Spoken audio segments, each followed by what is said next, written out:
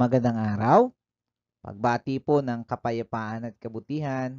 Ito po muli ang inyong lingkod, Ginoong April Casanyada. Welcome po sa ating channel, Ginoo TV. Ang video pong ito, ang video tutor- tutorial na ito ay aking hinanda para sa mga cellphone user na nag-a-access ng kanilang G Suite account upang magamit ang kanilang G Classroom at ma-access ang Google Meet. Okay. Yung iba ay nahihirapan po dahil phone lang ang gamit nila, pero huwag kayong mag-alala dahil kung ano yung kayang gawin ng ah, desktop user o laptop user, computer user, ay kaya rin naman gawin ng ah, cellphone user. Okay po. Ito lang po at ah, wala nang iba kayong dapat gawin. Napakasimple lang po. Simulan po natin.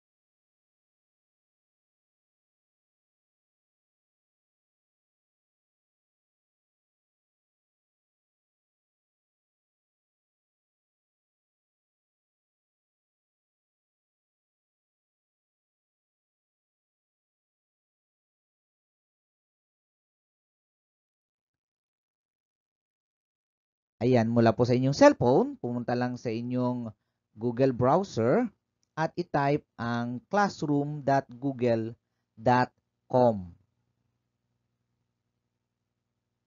Ayan, ikalawa po ang pipiliin natin yung Google Classroom.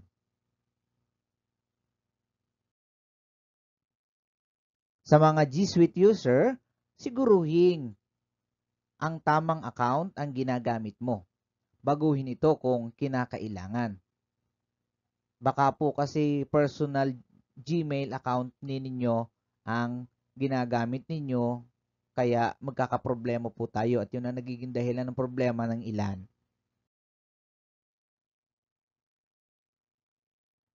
Kung ikaw ay gumagamit ng higit sa isang email account o particular na sa Gmail account, hanapin ang G Suite account mo.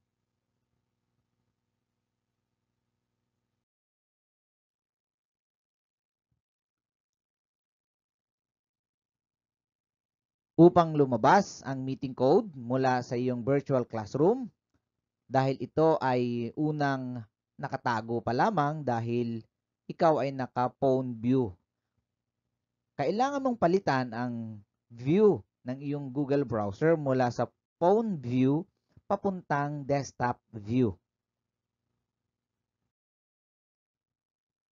Yan. I-click lamang ang 3 dot symbol sa itaas sa kanang bahagi ng iyong browser.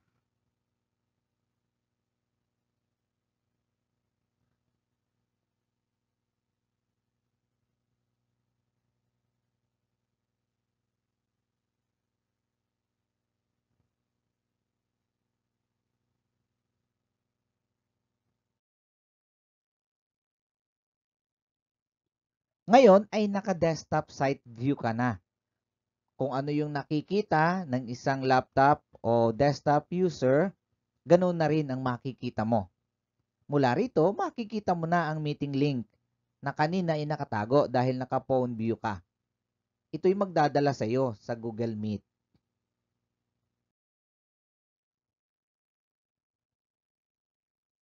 I-click ang meeting code at mula rito ay dadalhin ka na sa Google Meet na nakatalaga para sa isang partikular na klase na nais mong daluhan.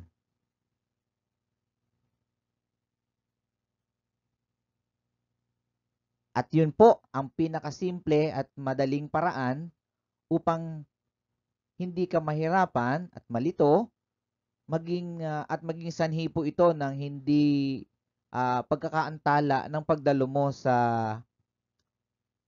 ah, virtual meeting o online class dahil ah, malaking bagay po o malaking ah, sayang kung kakain ng ah, mahabang oras ang paglahok mo pa lamang sa Google Meet.